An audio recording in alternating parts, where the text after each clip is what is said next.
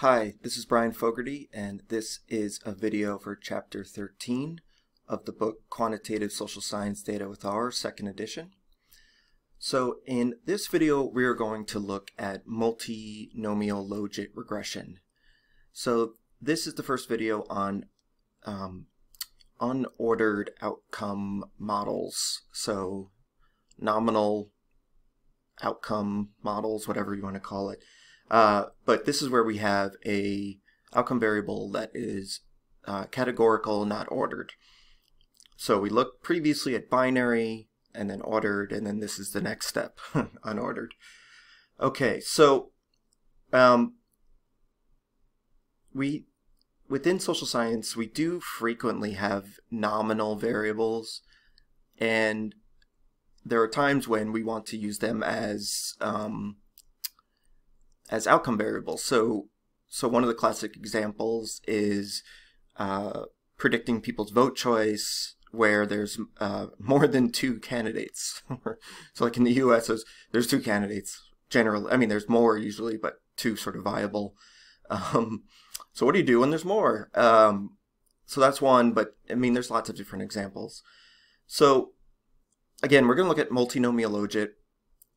Um, in this video, and we are going to use uh, an outcome variable that is people's party identification uh, from, again, the 2014 Scottish Social Attitude Survey. Um,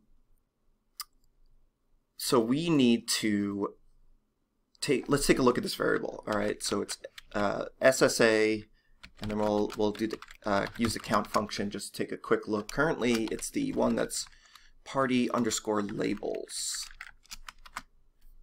Okay, so we see there's six values here and then a bunch of missing. All right. Um, and we see that the labels are actually on there. Do you see how they're like kind of grayed out? Again, this is because it's coming from Stata. Um, and what's nice about that read underscore DTA is that it brings them in. Um, but they're grayed out because they're, they're, they're kind of hidden right now.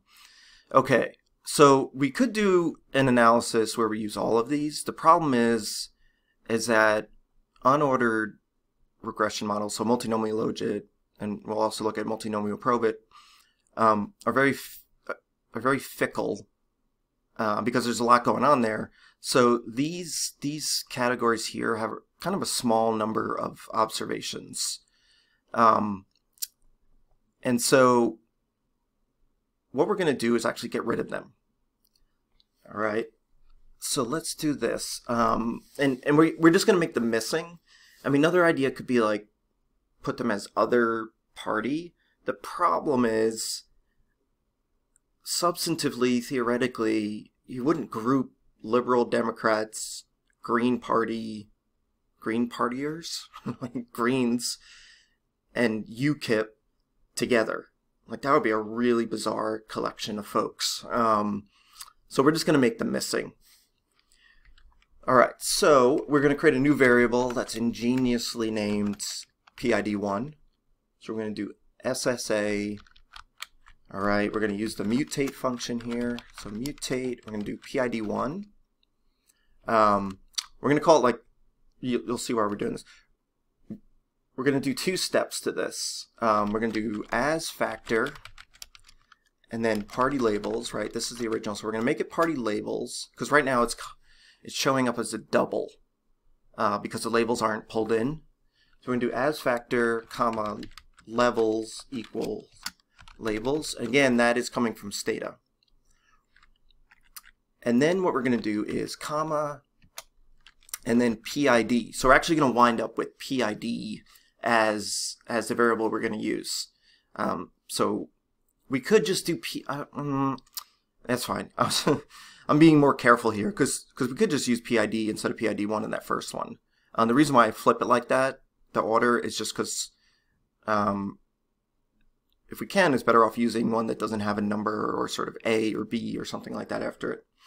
All right, we're going to do PID equals recode underscore factor and PID1 comma and then we're going to label. I'm going to pull this back. We're going to label these um, just to be just to be super clear, so we're going to do um, 1 equals conservative, sorry, 1 dot conservative equals 1 dot conservative. All right, um, 2 dot labor oops, equals 2 dot labor. And then we're going to uh, we're to keep SNP. Um, again, this is Scotland, so for the rest of the UK, the conservative, the number of conservative identifiers would be way higher. Um, but Labour and the SNP, and even so, this is 2014. I don't know what it is recently, but but it, it's very likely there's probably more SNP than Labour, but they're but they're similar. Um, but right now, SNP is a fourth category. We're going to make it number three. So, whoop, so we have 4 dot SNP that equals 3 dot SNP. And then what we're going to do is we're going to say um, make all the other values missing. So what we can do is a nice little shortcut here. We can do dot default equals, and then we're going to call it NA underscore character. And that comes up. So it's on NA underscore character um, and then an underscore. So uh, within tidyverse, I think that, so this would be part of forcats, dplyr, or whatever. But within tidyverse, there's actually different types of missing values. Um, and one of them is, is as character. Usually, normally, it doesn't matter um, sometimes it can matter if you are recoding variables or uh, specifically like you're combining um, different variables um, or you're merging or something like that where the NAs are are classified differently. That can cause a problem. Um, I was not aware of that until I ran into a problem and was like stuck trying to figure out like why is this not working and then I, I read up and saw that, oh, wait, maybe it's the NAs. And once I put them as the same type, problem solved. All right. So let's highlight this. I think it looks good. Let's highlight this and run it. Okay, so we didn't get yelled at. So we're going to do, let's just double check it. So count PID. All right, so that looks good. Okay, so now let's get to doing a multinomial logit. Um, there's two ways, there's two, not two ways, probably multiple ways, but there's two common ways that people run multinomial logit in R. Um, one is using the multinom function that's part of the uh, nnet package. And then there is also a, a one um, mlogit, which is part of the mlogit package. Uh, we're going to do both just because, um, just so you can see see how they're done. Um, multinom is, is, is older. Um, and so people have used a lot and it's really fast and easy to specify. it has less flexibility though. mlogit function um, is more difficult to specify, uh, but it's also more flexible. So there's kind of a trade-off here. All right, let's let's use this first one here. We're gonna do. We need to load n n net. Sorry, n net. n. Oh my god, n net. Why do I keep trying? Yeah. All right. There we go. We load that, and then I'm gonna we're gonna wrap summary around it like we've done before and do summary. I'm going to save this as model.mlogit. And then the function is mul oh, multi-nom. And then we're going to specify it just as we have with the other regressions. So we have our outcome uh, variable first, PID, tilde, and then Scott plus trust plus age. And then we have to specify the data. Okay. All right, let's highlight this and then take a look. All right, so there's there's sort of less information than some of the other things we've seen. Um, one thing we should, one thing that stands out is that it's we we definitely don't have stars, and, and we don't even have the stuff lined up like we did before. Um, the the coefficients we have for unordered are like combining a series of binary um, logits and running them simultaneously. So our variable Scott here, so we have Scott, trust, age, all right? These are our coefficient, estimate, whatever. Um, so this one here is the effect of labor versus conservative. So conservative is our baseline or comparison category. So um, when you run multinomial logit, one of the outcome variable categories is going to be your sort of your baseline or comparison. So the other ones are going to be compared to that. Um, often we use the um, outcome category with the most observations, or it could be one that you're like you want a particular comparison done. Um, the com particular comparison done is is completely fine as long as there's enough observations uh, to get good estimates. So here, because labor and SNP are larger um, in in Scotland, and conservatives are arguably, well, I mean they are larger in the rest of the UK. Um, this is a this is a good one to keep as as the comparison. It's also default, so by default it'll be the first category. So you, we, you can change that um, if you want. All right. So, right. So this is for Scott. Uh, this is the coefficient for labor versus conservatives. This is the coefficient for SNP versus conservatives. Um, but these are the coefficients. Here are the standard errors. All right. So we can eyeball them to figure out like what is statistically significant, what is not. Um, again, we're looking to see is the coefficient at least twice the size of the standard error. Uh, one option we could do that's pretty simple is we can just divide them, all right?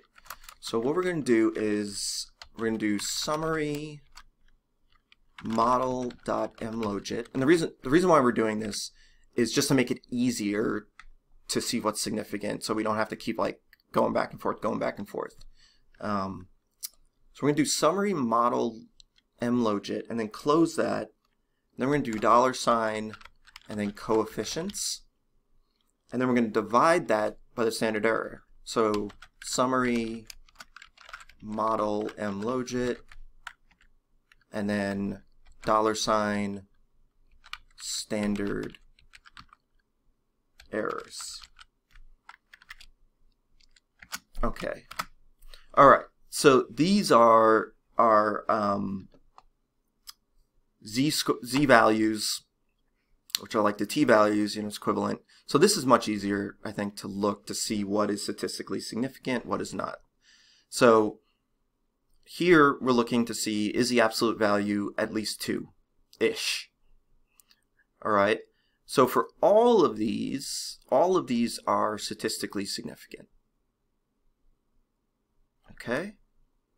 So all of them have a significant effect. All right. Um, one thing I want to show here is about plotting the coefficients. So we have we did this early on, and I did I just did it once. I didn't do it in the other some of the other videos because um, it was roughly the same thing. Here it's a little bit different.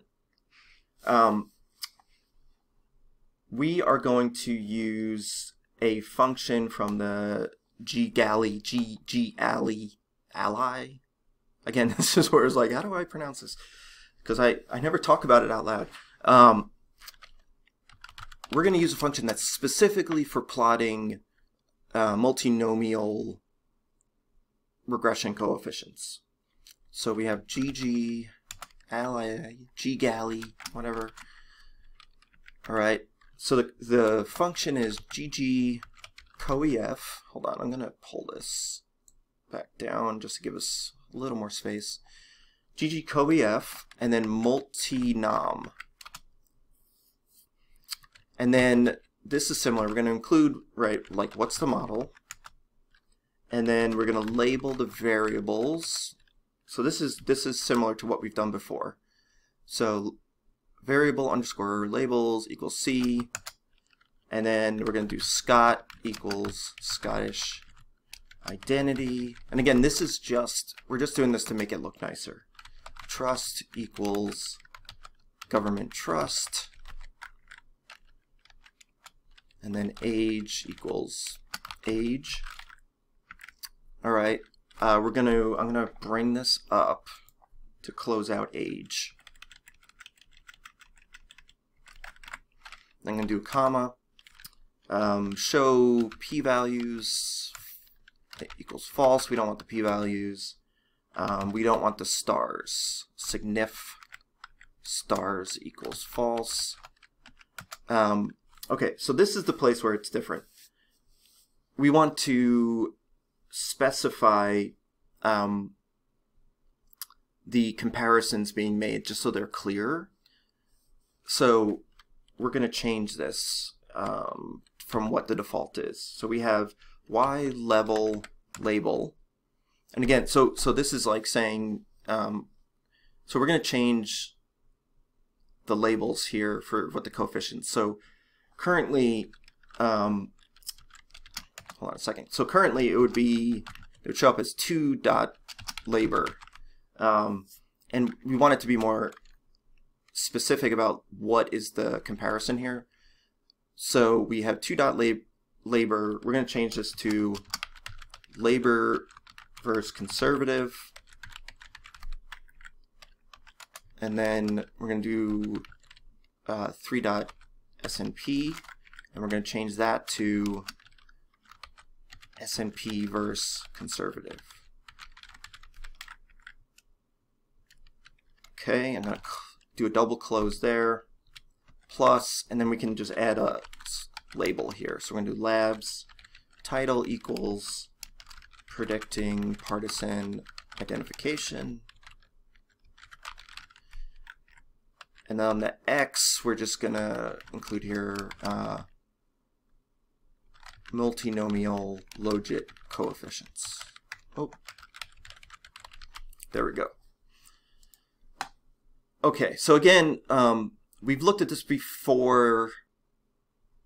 It's very similar. This is just specific for multinomial, and the main difference is specifying the what the comparisons are. All right, so let's highlight this and run it. Oh, got a hanging out double close there. Takes a second. Okay, I'm going to click zoom, move it over, and drag it. Okay, so now what we see is for each one of the predictors, we have two um, dots and, and lines um, just like before, the, the dot is the estimate and the lines are the confidence intervals. All right. Um, so the blue is, or bluish, is for SNP versus conservative, and the reddish is labor versus conservative. Um, so you can see for each each of these. Okay. Um, in terms of checking, you know, statistical significance, the same idea before that if the confidence intervals cross zero, then it's not significant. So it's not the case here, but you know, it's very common where one of the comparison is significant and the other is not. Um, that can cause some challenges with interpretations. Uh, you just have to be careful. Okay, so that is it for uh, this video. Thanks for watching. I'll see you next time.